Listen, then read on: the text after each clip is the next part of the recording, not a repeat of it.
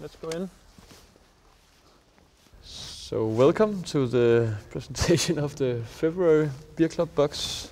We're here today at the, the venue for the Mikkeller Wild Ale Celebration Festival. We are at Refshaleøen inside the old skate park.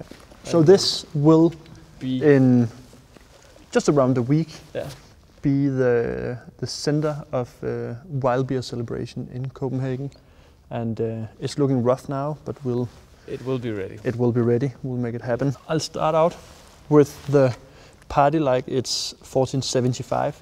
This is a beer that Mikkel went to Finland and brewed in collaboration with Olaf Brewing. We uh, earlier announced this was going to make it in the beer club, and it's a German style Pilsner, 4.9% in these super nice, very uh, bottles that make you Like extremely Hand thirsty grenade hand grenade bottles. The story is that uh, the castle where this brewery is located was actually built by Danes in 1475. This beer is not a surprise to me. I've had my fair share over the past week or two.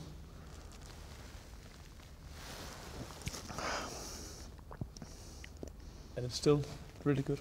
It is, and it's it's a shame you only get one, because you could easily drink Ten. ten thousand of these. So next up from Boop Boop Free Hills Brewing in Manchester. Ah, we got the off juice number eight.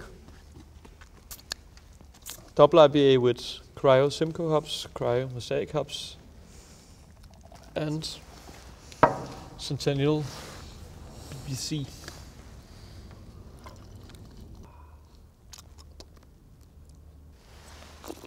Ah. It's super nice. It's extremely fresh as well. Moving on to another beer. This one, Wishful Drinking, that we imported from Mikkeller, New York City. This one was supposed to go into an earlier month, but uh, stuff happened. The transportation got stuck. Um, this one is brewed in November. We had some of it. We think it's still a damn great beer and we didn't want to waste the stuff that we actually ordered for the beer club. Um, so we tasted it. We're going to include it anyways.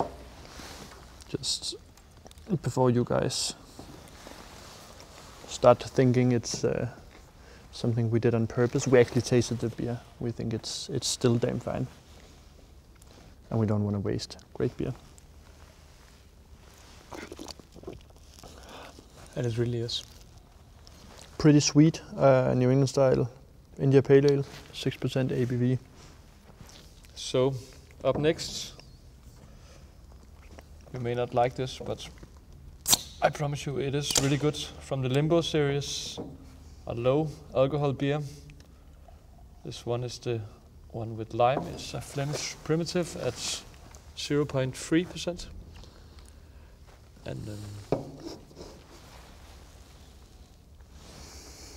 Skål. ah, skål. Even though it doesn't hold so many percentages, I think it's really, really good. Extremely thirst quenching almost. Like some uh, lemonade, Yeah, it's but with more flavor to it. We want to present you to some of our non-ABV beers just as well as our alcohol-containing beers because the non-ABV beers is actually making up a bigger and bigger part of our portfolio and sales in general. Coming up next, world premiere, or at least beer club premiere, Spark Joy New England style IPA brewed with Citra and Idaho 7 hops, 7% ABV. This is brewed, contract brewed at Gweilo in Hong Kong.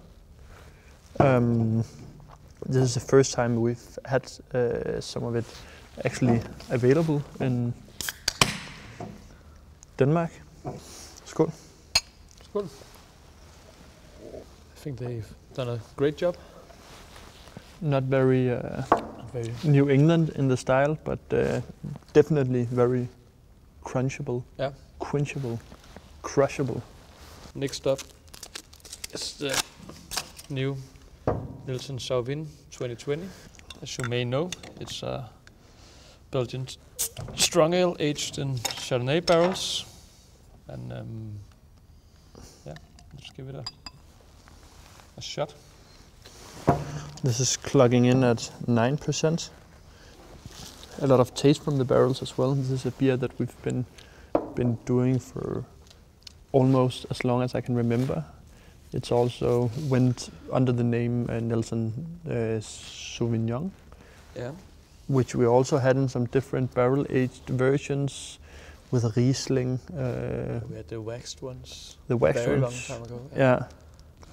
So it's uh, ones that this is, is one of the the milestones beer milestone beers in the Mikkeller portfolio, I would say. Up next, the Muta Double IPA from Squawk Brewing. I think that's how to pronounce it. They were the guys from Manchester. These are the guys from Manchester, Yeah. exactly. This one was uh, canned roughly 20 days ago, maybe even less. It's uh, super fresh double IPA. I think it's the first time we uh, imported something from Squawk. Skål. Not to be consumed if you're pregnant.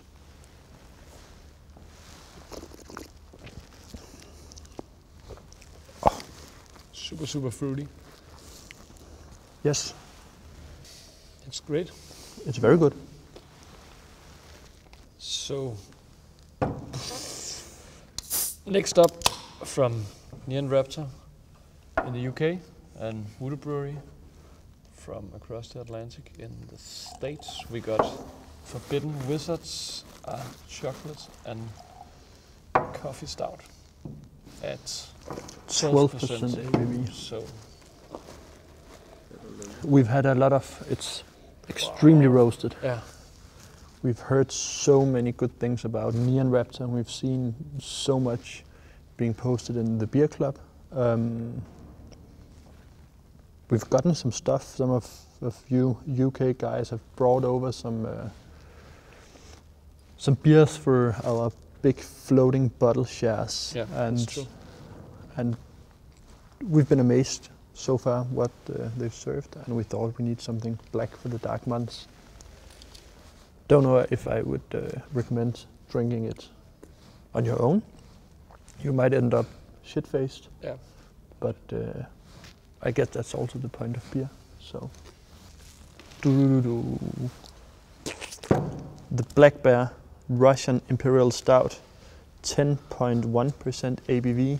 We wanna keep you drunk Yeah. at least for some time. This is uh, the new 2020 version of our old classic brewed especially for the Russian market. This is still one of our uh, big exporters to the Russian market. You have the Bears, which I think is more Berlin style, but then you have the, I think this is supposed to be the Kremlin, looks like it, which yeah. is uh, very Russian. Definitely not as roasted. Got more of a nutty smell. Sweeter, softer, more caramel fudge-ish.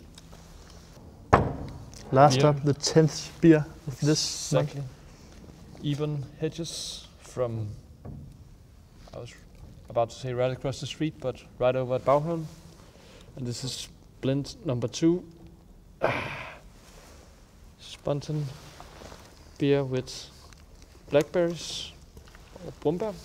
I haven't had this one before, so The blend one was crazy good. Yeah. It's made from from uh, different blends, uh, aged 12 to 24 months. So, uh, and then after aging, it needs to bottle ferment.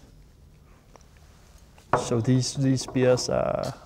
This have been more than two years in on the way, yeah. on its way. A lot of the stuff you get from Baghaven is is uh, old stuff. is planned from almost the opening of Baghaven and takes a shit ton of time and resources to make. Wow. Extremely good. And I guess nothing more to say, but uh, to say goodbye. This is goodbye. See you, some of you, in a week. Yeah.